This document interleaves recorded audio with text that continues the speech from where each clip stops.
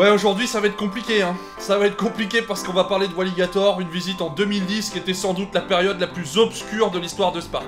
Faut savoir que Walligator, ça a toujours été une histoire un petit peu chaotique. Hein. Le parc a ouvert en 1989 et en 30 ans de ça, donc aujourd'hui en 2019, il cumule juste 7 propriétaires différents. Moi, au bout d'un moment, je sais pas, je suis pas investisseur, mais je me dis quand même que quand je vois qu'un parc a eu 7 propriétaires, je vais pas mettre d'argent dedans. Hein. C'est pas forcément l'affaire du siècle. Là, en 2010, il était détenu par deux frères, des forains qui s'appellent les frères Le Douarin et qui avaient une gestion un petit peu particulière de l'ensemble. Le but, c'était de faire économie sur économie, donc placer des attractions absolument merdiques qu'on récupérait de forains, des trucs absolument usés, hors d'âge et pas forcément intéressants à chaque fois. Quand je dis pas intéressant, vous allez en voir une en particulier, c'est juste on se demande encore qui a conçu ça et pourquoi ça a été fait. Mais aussi ils avaient reniflé ce qui pouvait être une bonne affaire comme ça sur le papier, c'était une montagne russe Bolliger et Mabillard, donc BM, le constructeur suisse qui est un peu considéré comme une des Rolls-Royce du monde des montagnes russes. Et là en fait ils ont racheté une montagne russe d'un parc japonais qui s'appelait Expoland, il y a eu un accident mortel, le parc malheureusement du coup a fermé. Ils ont récupéré une montagne russe qui s'appelait là-bas Orochi, qui s'appelle maintenant The Monster en France, qui ouvrait en 2010 et qui était le premier BM de France. Donc forcément, ça a attiré les foules. En tout cas, nous, on voulait absolument y aller. Me concernant, c'était mon tout premier inverted BM. En BM, j'avais fait que Silver Star à l'époque, donc forcément, j'étais tout à fait excité à l'idée de pouvoir monter dessus. Mais là où j'étais moins excité, c'est que je connaissais la réputation du parc et je savais que c'était absolument catastrophique et il fallait passer la journée là-dedans pour pouvoir faire la montagne russe. Et du coup, étant donné qu'on n'avait jamais fait le parc, on s'est absolument tout coltiné. Et tout se coltiner à Walligator, ça veut dire se coltiner de la merde de A à Z. Il y a absolument que The Monster qui tient la route, le reste c'est juste bon acheter. Et là on sentait qu'il y avait absolument des économies à faire, hein. fallait tenir un budget qui était apparemment hyper ricrac et ça s'en ressentait, donc les attractions étaient absolument dégueulasses. Les décors partaient complètement en lambeaux, j'ai des photos qui appuient ça, vous allez voir, c'est désolant. Le règne Le Douarin, si on peut parler de règne, s'est soldé par un échec cuisant, cataclysmique, tant et si bien que le parc a été placé en liquidation judiciaire avant d'être miraculeusement repris par un autre groupe. Autre groupe qui, je vous le donne en mille, c'est lui aussi séparé du parc. C'est dire à quel point c'est rentable cette histoire. Enfin bon là je vais pas tergiverser 3 heures, de toute façon le TR et les photos vont parler d'elles-mêmes, vous allez voir à quel point on a atteint un niveau absolument exceptionnel, et je vais vous laisser découvrir tout ça avec ce que j'ai monté et ce que j'ai photographié. Après une superbe nuit dans un Formule 1 situé à 30 km de notre alligator national, genre les plumards pleins de poils, les chambres affreuses et le tout étincelant de crasse, nous prenons la route vers le parc qui restera dans les annales, du genre bagatelle c'est Disney à côté, j'ai nommé Walligator Park. Situé non loin d'une belle zone industrielle, Walligator se pose déjà comme le cinquième parc le plus visité de France derrière le Resort de la Souris, le Gaulois, le Futuroscope et le Hérisson, qui sont tous d'un niveau incomparable face à l'alligator. C'est simple, Astérix fait office d'un Disney Sea à côté de Wally. Les photos parleront d'elles-mêmes, vous verrez. Après Holiday Park et son expédition GeForce, nous visitons une autre légende du monde des parcs d'attractions, mais pas tout à fait pour les mêmes raisons. Les premières impressions ne sont pas franchement prometteuses, et là on constate directement en entrant dans le parc que l'horreur n'est qu'à une encablure d'ici, mais on se la réserve pour plus tard, hein, faudrait pas commencer trop fort. Et en parlant de commencer, autant se jeter de suite sur la montagne russe qui justifie la visite du jour, à savoir The Un bon gros inverted BM. Nouveauté 2010 venant tout droit d'Expoland, parc japonais ayant fermé ses portes après un accident mortel, il s'agit d'un grand vide de 1200 mètres de long, 40 mètres de hauteur et 90 km/h. Walligator le vend comme le plus gros inverted d'Europe, 50 mètres de haut et 110 km/h. Ils ont dû confondre avec les statistiques de Katoon, je crois. Alors, pour parler plus en détail de The Monster, le Grand 8 est premièrement très laid, deuxièmement dans un état assez triste, Troisièmement, tomber dans le mauvais parc. Quatrièmement, tristement pourvu d'une thématique boueuse et sentant les égouts dont seul Walligator connaît le secret. C'est dingue, j'y suis allé quasiment à la même période que les confrères park fans de Trips and Peaks et mon ressenti a été exactement le même. À côté de ça, The Monster regroupe absolument toutes les caractéristiques qui ont fait la renommée du modèle. Intensité, fulgurance, fluidité, puissance et impression de liberté totale, et ce malgré les énormes harnais. Mention spéciale à la dernière Helix, très très intense, ainsi qu'aux deux voiles noires assurées à l'entame du Vertical Loop et de la dite Helix. C'est un BM old school, donc qui arrache la gueule. Ami du G positif, vous serez servi. Il s'agit en 2010 de la meilleure montagne russe de France, et de loin. Un grand 8 pareil dans un parc pareil, c'est triste. C'est triste parce que ça nous oblige à aller dans ce parc. C'est triste parce qu'on craint pour son entretien. C'est triste parce qu'il ne sera jamais mis en valeur, et on le sait très bien, pas besoin de se voiler la face. Si vous voyez l'état du staging, si seulement vous le voyez. Ah mais ça en dit long sur le traitement qu'on inflige à la bête, hein, mais bref. Bon allez, on y a échappé tout à l'heure, mais là on est juste à côté, alors allons nous farcir un tour d'Anaconda. la blague du siècle. Hein. Il faut savoir que tous les ans, il y a un classement mondial des montagnes russes en bois qui est établi et lui finit toujours, toujours en dernière position. Alors déjà, les sacs de sable dans le train pour éviter qu'il se fasse la malle, les rails pas droits, le parcours digne d'un circuit d'essai de Gran Turismo, et les vibrations inadmissibles, genre t'as l'impression de rider dans un tracteur avec un malade de Parkinson qui a les pédales sous les pieds. Y a de quoi appeler au démontage pour en faire des allumettes, hein. Non mais sérieusement, il y en a qui prennent leurs pieds là-dedans, vivement que je teste les 5 autres wooden ouverts qu'a réalisé monsieur comme un Didiou, Didiou de Didiou. Dans la catégorie coaster affligeant, je voudrais le Looper Vekoma du nom très inspiré de Wally Coaster. Un loop, deux corkscrews, des baffes et merci monsieur dame. Zooper Verbal était absolument cata, mais au moins il avait la courtoisie de ne pas mettre d'oignon. Le lift est peut-être la meilleure partie du layout ici, étant donné que c'est la seule à ne pas mettre de baffes, et pour le reste, bon bah tout est acheté il y a forcément un mec qui sera intéressé par la ferraille, les gars. Hein. Vous pourrez en tirer un bon prix, vous en faites pas. Si vous voulez le jeter, on vous en voudra pas. Le dernier crédit, et pas des moindres, c'est Family Coaster, une pumping fari que le monde nous envie, comme il en existe à peu près 30 milliards sur le globe, et qui est placé là à même le bitume qui est complètement fatigué. Au top. Il y a aussi des attractions dont on ignore complètement l'intérêt à Walligator, hein. Genre ça. Mais qui achète ça? Mais qui conçoit ça? Mais qui fait ça? Personne de sensé. Je vous jure, pour de vrai, personne de sensé. Regardez plutôt, je suis allé chercher une vidéo qu'un pote a tournée durant une autre de nos visites. C'est absolument désolant.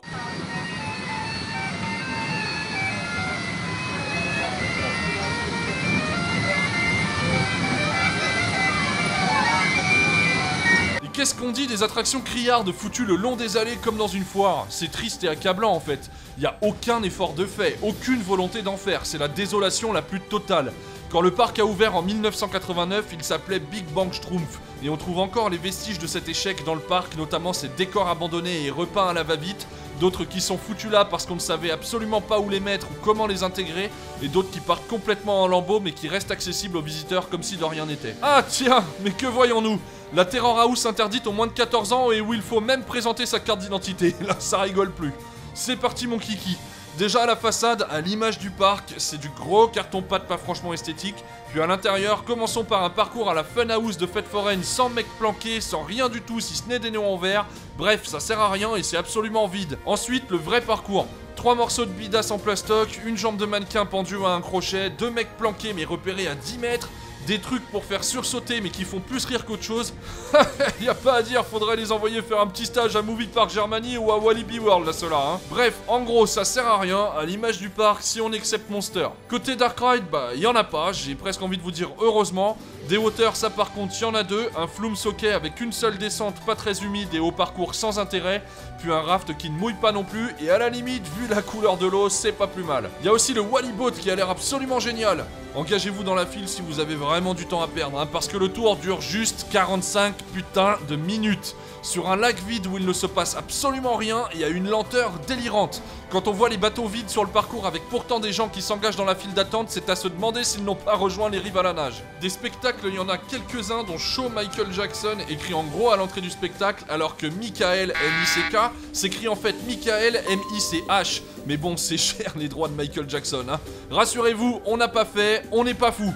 Non, on s'est coltiné Pirate Splash, donc on n'est pas fou, je sais pas, mais en un mot, euh, c'est long, c'est très très long. 25 minutes et c'est nullissime. On est tenu en haleine pendant 30 secondes sur tout le temps que dure le spectacle, c'est ringardissime à s'en taper la tête dans le mur de dépit, bref, à déconseiller. Michael Jackson, c'était peut-être pas plus mal que les pirates finalement, hein. on aurait peut-être dû se laisser tenter. Eh ben dis donc, avec du recul, je vois que j'ai vraiment pas fait l'éloge du parc, hein, et je vous assure, il a pas de mauvaise foi là-dedans. Tout est pensé. 29 euros pour ça, c'est vraiment de l'arnaque. En 2011, on se fera frais pertuis et je pense que ça ira mieux. Ensuite, que dire si ce n'est que la bouffe aussi entre le mauvais et le correct, ceci dit, elle est assez bon marché, et que la théma alterne entre rencontre du troisième type, les schtroumpfs et la fête des loges, et qu'elle est complètement hors d'âge, fatiguée, décrépite et qu'elle part en lambeaux, bah pas grand chose. Bref, vous l'aurez compris, Walligator c'est la déprime assurée. Passez Monster, sortez le Prozac et apprêtez-vous à passer une journée où joie et bonheur seront aspirés dans une dimension parallèle. En tout cas, nous, on l'aura compris, il faudra vraiment quelque chose de balèze pour qu'on y refoute les pieds. Allez, il est temps de mettre les voiles sans aucun regret, on rentre chacun chez nous et je rends maintenant l'antenne. À vous les studios Attendez, attendez, attendez, attendez. Je suis en train de me dire un truc là. Imaginez juste avant l'ouverture de The Monster, il y avait quoi dans ce parc? Il y avait Anaconda, l'un des plus mauvais grands vides du monde, ça ok. Il y avait Wally Coaster, un looper Vekoma qui n'était absolument pas à Varamba, et je crois qu'aujourd'hui c'est encore pire. Il y avait la Space Shot à la limite, mais elle était en panne depuis Mathusalem, donc je sais pas si je peux la compter. Et puis... Ah bah si, il y avait ça aussi.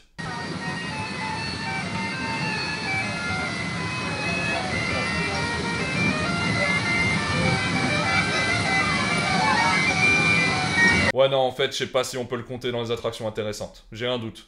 Ouais bah voilà, c'était désolant Walligator, je sais pas si c'est mieux aujourd'hui, mais en tout cas à l'époque, vous voyez la catastrophe que c'était, hein. c'est pour ça que je sais pas quoi vous dire de plus, hein. Euh, tout a été dit à travers l'ETR et les photos, qu'est-ce que je peux rajouter? Bah si, je peux ajouter, comme je le disais tout à l'heure, que là, le parc en est à son septième propriétaire, hein, donc j'imagine qu'ils sont pas arrivés sans idée, ils sont pas arrivés sans business plan, ils ont forcément quelque chose pour relancer le parc, j'imagine que quelques rafraîchissements ont été faits du côté de la déco notamment, mais en termes d'attraction, c'est sûr qu'il n'y a rien qui a été ajouté. En tout cas, rien de significatif qui justifie une visite après avoir fait de Monster là-bas, qui est la seule attraction qui tient véritablement la route. Et pour le coup, elle est vraiment excellente. Excellent parce que c'est du BM old school, donc c'est un truc qui ramène vraiment la tronche, c'est plein de jets positifs, c'est très puissant, c'est très vif, très nerveux. On a le sang dans les hélix qui descend complètement dans les pieds, on n'a plus rien dans la tête, donc ça nous fait un voile devant la tronche. Et ça, c'est des sensations très bourrues, très vives dans un grand 8 qu'on recherche aussi, hein, qui sont vraiment excellentes. Après, au niveau show, vous avez vu à quel point c'était affligeant, hein, le show Michael Jackson avec la bannière coupée en deux et pas la bonne orthographe, mais merde, faites un effort, quoi, le minimum, non? Donc voilà, pas de show intéressant, pas d'attraction intéressante si on accepte The Monster, et quand je dis pas intéressant, c'est pas que c'est moyen ou médiocre, hein, c'est que c'est absolument lamentable. Donc ouais, Walligator, c'est un tout un contexte. Hein. Déjà la zone où il est situé, quand vous avez regardé les photos, vous avez pu apercevoir au fond des usines, des raffineries, c'est dégueulasse. L'intégration des attractions, c'est ni fait ni à faire, c'est posé soit même le bitume, soit dans la forêt, mais ils ont rasé tous les arbres, hein. donc de forêt il reste que la terre en fait. Et puis des couleurs criardes de ci, de là, c'est fluo, c'est bleu, c'est jaune, c'est orange, il y a des LED, il y a des diodes. Épargnez-nous, s'il vous plaît. Donc voilà, niveau déco ou alligator, ça m'a fait penser à la foire du trône avec une entrée payante, quoi. C'est dire à quel point ils ont mis la barre très très haut niveau déco. Et puis bah à part aller au parc ou retourner au parc pour faire de Monster, bah, c'est absolument le seul leitmotiv qui soit, hein. Pour le reste, bah y a rien. Voilà, en faites quelques kilomètres de plus, allez faire un Frépertuis, allez faire un Igloland, allez faire même un Europa Park, mais Walligator, passez votre chemin. C'est con parce que ça aidera pas le parc à relever la barre, mais le problème c'est que ça fait 30 ans qu'il est dans cet état-là, et j'ai du mal à voir un avenir positif pour ce bazar. Hein. Voilà, donc là je pense que je me suis attiré à peu près toutes les foudres de la Lorraine, hein. si vous êtes lorrain, vous allez me lâcher un caca gros comme ça sur le nez, mais j'ai essayé de rester objectif, je suis désolé, je peux pas faire autrement, et je vois pas d'avenir vraiment positif pour ce parc. La semaine prochaine, on se retrouve avec un parc étranger qui n'est pas foncièrement très intéressant, mais avec deux montagnes russes exceptionnelles qu'il va vous falloir découvrir absolument. Donc pour les abonnés, comme d'habitude, on se retrouve vendredi prochain, 18h. D'ici là, portez-vous bien et ridez bien.